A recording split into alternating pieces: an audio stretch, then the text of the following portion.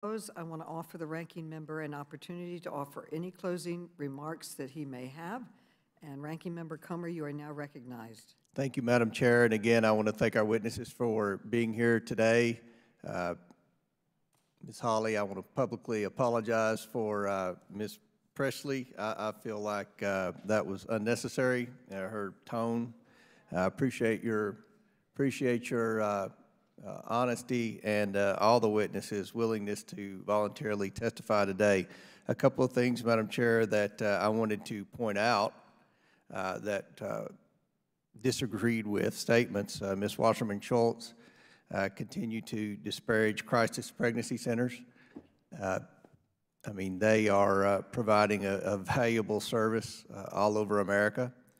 And uh, she mentioned the word fake pregnancy centers. If there are any fake pregnancy centers that are unlicensed, then she should report them to the authorities because it's not allowed to have uh, in any state a pregnancy center that's not properly licensed.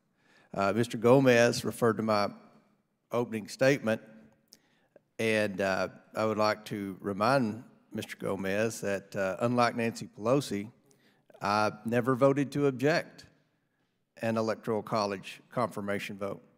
Uh, I was also on the floor on January 6th, and I've always uh, condemned the violence that occurred on that day. So I don't know where he was uh, uh, referencing that with respect to me.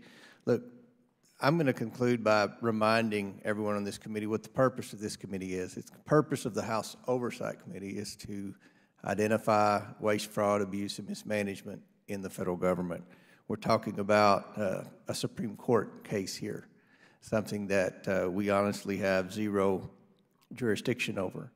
Uh, This hearing, Madam Chair, with all due respect, was a political hearing, in my opinion, to try to fire up the demoralized uh, far left wing of the uh, Democrat Party uh, because of, uh, you know, disparaging poll numbers with the, with the president and the, and the party.